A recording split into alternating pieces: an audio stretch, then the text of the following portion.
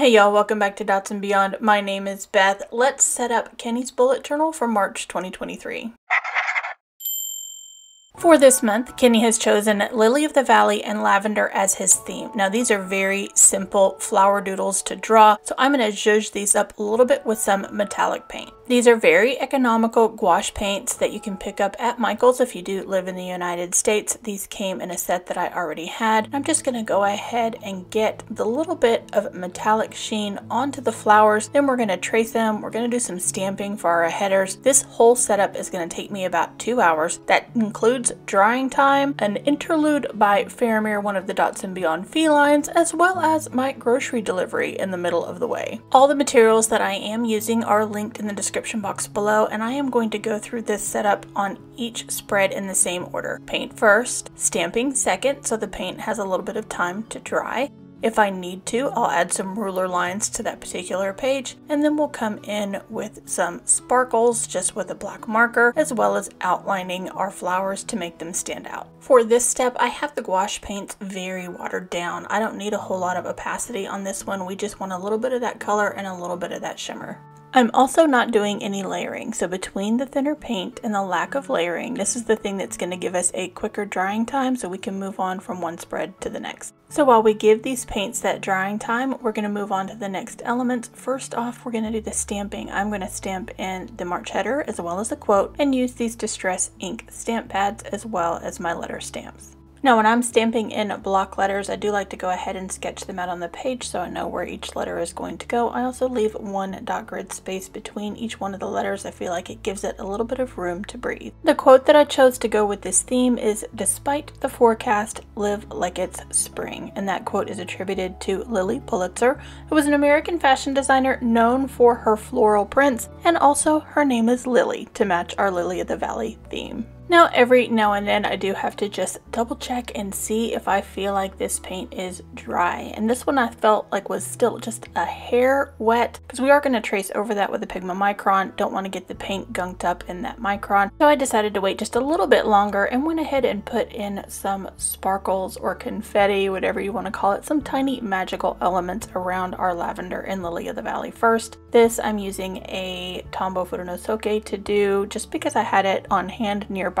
from doing my own March setup. I also incorporated some moon doodles in and about our florals. I felt like we just needed a third element to change things up just a little until every now and then you'll also see a moon doodle. For finishing off the flowers, I am tracing over my lines with Pigma Microns, switching back and forth between a 0.05 and a 0.01 depending on how large or small the doodle is on the page. Now one of the things you are going to have to remember is even though the Pigma Micron has archival ink, any of the places where you trace directly over the paint, it might take it a little bit longer than usual to dry than when it's just on regular paper. And that will wrap up these very simple doodles with the Lily of the Valley and lavender theme for Kenny's cover page for March. Now anytime that I do use paint, just as a precaution, I go ahead and stick another sheet of paper in between these pages as I move from one spread to the next just to make sure everything was super dry on that page before removing that paper. We are going to go ahead and move on to the calendar spread. For those of you who may be new here, I set up my own bullet journal as well as that of my son Kenny. He goes ahead and picks the themes. His first bullet journal was full of his fandoms. This one is things he likes. It's a little bit more on the magical side. And this is where I found out that Lily of the Valley is his favorite flower. So while we set this page up in the same order that we did the last one, let's learn a little bit about Lily of the Valley. Lily of the Valley is a woodland flowering plant with bell-shaped flowers and a sweet scent.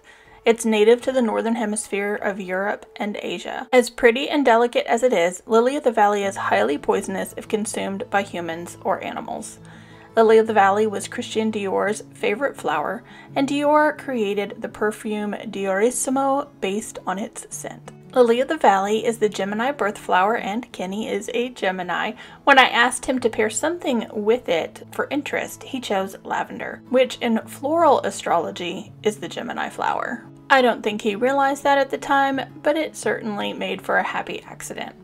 Lavender symbolizes grace and purity of soul, Lily of the Valley signifies luck, and joy. While our paint's been drying, I've been building out a standard grid calendar. What I did do differently is for this one, I didn't use any vertical lines, just the horizontal ones to help keep it a little cleaner and neater, just like the flower doodles. But in this moment, I also realized I only had 30 days instead of 31, and that my doodle was going to get in the way of day 31. But I ultimately decided that this was a future Kenny problem and went ahead and added day 31 along with the doodle that's below it, and he can just figure out where he wants to write around that. Honestly, as tiny as he writes, I really don't think it's going to be that much of a problem. Now that we have that corrected, tell me what is your birth flower? My birth flower for August is the gladiolus, which is very apt since it is native to Africa and the Mediterranean area. It also comes in a wide variety of colors. And in floral astrology, which I admit I had to look up because I did not know, the flower for Leo is the sunflower, which makes perfect sense. Both species of these flowers are ones that prefer full sun, and I am like, me too flowers,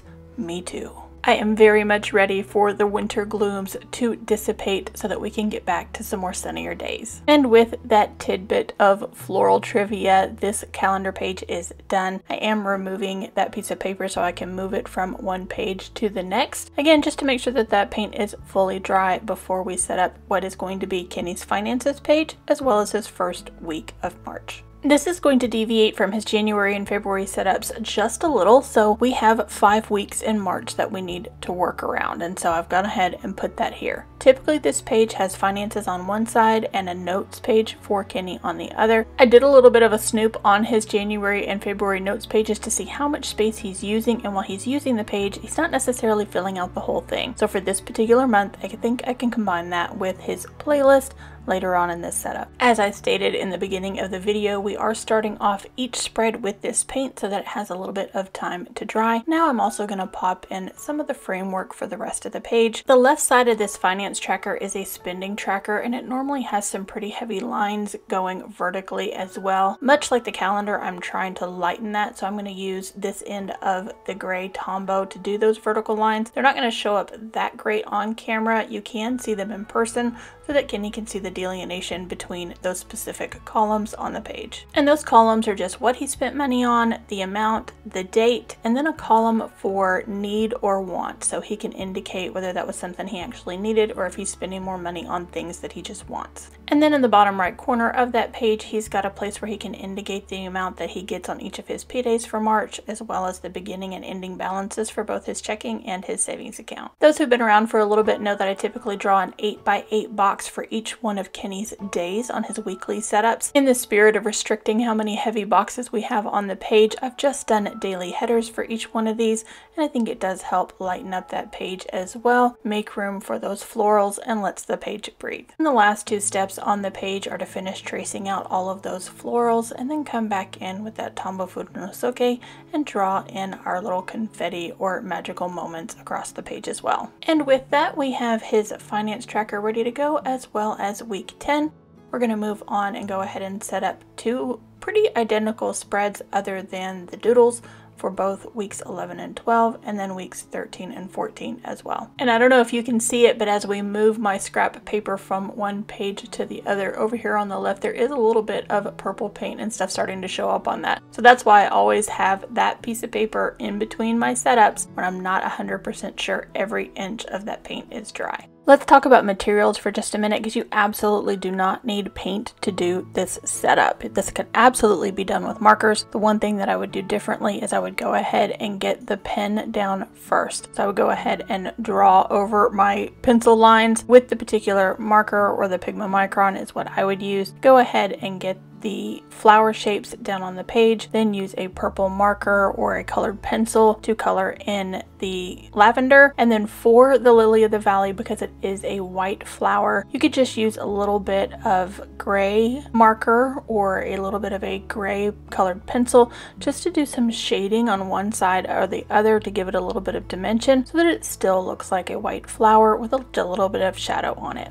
This is a super simple way to get two weeks onto a single spread if you are using an Archer and Olive or a notebook therapy journal. The spacing works out the same where you can have up to nine boxes that are eight dot grid spaces across and 12 down. And I don't need nine for a week. So seven of those are for the days of the week. And then I have a mini calendar and some artwork. I squish the boxes from 12 deep to 11 deep. And that gives me a little bit of room at the bottom for the header as well for the week number. This is a wildly different theme than Kenny's February theme, which was a Dark Academia Love Potion theme, and that one was dark and there were doodles everywhere and it was a little more confined. So we decided to open it up a little bit this month, make it a little bit lighter, make it a little bit easier on mom, and he said, Mom, you definitely deserve to have an easier one after doing the theme for February. I will link that video in the cards above if you have not yet watched it yet, as well as Kenny's entire custom journal playlist down in the description description box below. First up, we are going to set up weeks 13 and 14. And like I said, you have a perfect 8 by 12 boxes on each page of a spread. So I can do one week on one side and one week on the other for Kenny. It is the easiest way for him to function is just to have a space each day to write.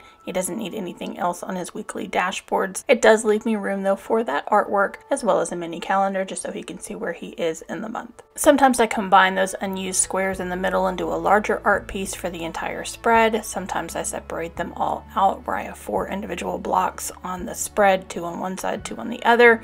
I just shake it up, move it around a little bit to get artwork in different shapes and sizes to help vary it but still keep the basic structure. This is a great setup to use if you're a sticker person that doesn't necessarily like to draw because then it always leaves you a space for stickers whether they're vertical or horizontal. Then you can also use the sticker headers as well. This spread's a prime example of me just moving a few of those elements around. I moved the mini calendar from the left side of the spread to the right and then the larger piece of artwork from the bottom right to the top left left just so that it's cohesive. Everything still looks very much the same, but each page isn't identical. And the only thing that we have missing now is our little celestial confetti or stars that I'm using to just round out the pages, give it a little bit more interest, and for Kenny, a little bit more magic. And of course, sometimes we have to stop what we're doing and spend a little time with our fur babies. So this was Faramir's first foray into screen. It is just a harbinger of things to come as he decides that he doesn't really want me doing this bullet journal setup today. We're gonna say that attempt number one by Faramir was just a little bit of a nudge. Here in attempt number two, he gets a little bit more persistent, actually plunks himself down in the middle of everything, so we take a little more time to give him some good scritches. Then he does go ahead and get up of his own accord and disappear out of the screen, but that is not the last we are going to see of him today. Just as I got all of the cat hair cleaned up and was ready to start again, Faramir comes in and decides that no, I am not going to do this anymore. He decides to move into position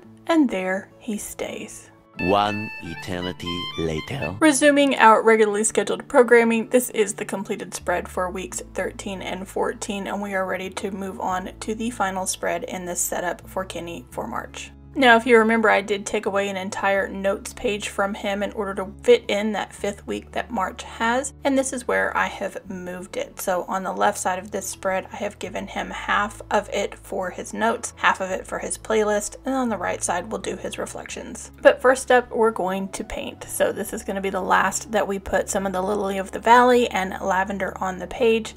On the left side, I used a Lily of the Valley just to separate that notes and playlist. On the right side, I did draw a circle and then do my doodles off of the middle of that for his reflection area. Here I've gone ahead and popped in those headers. I'm also changing his reflection area to match that that I've been using lately with the four L's.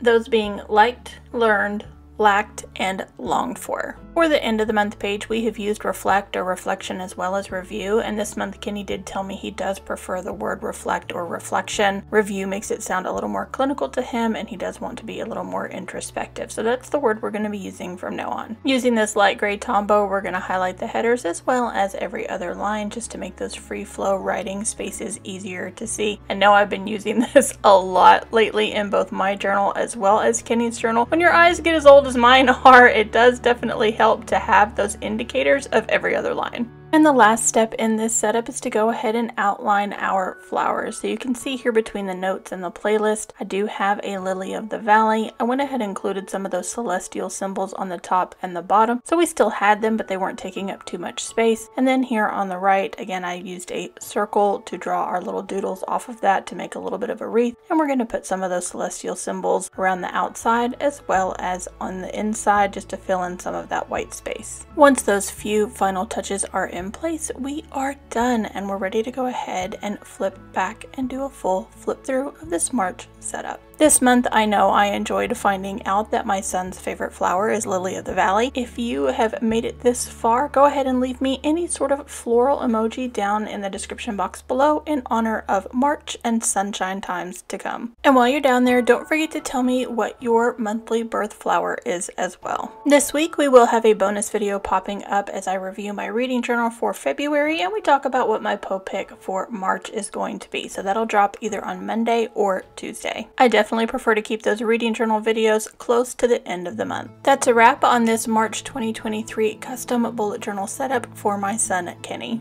Again, the playlist for his selected setups will be included in the description box below. Thank you so much for being here. If you like this video, please go ahead and give it a big thumbs up. Subscribe if you haven't already, and I will catch you in the next one.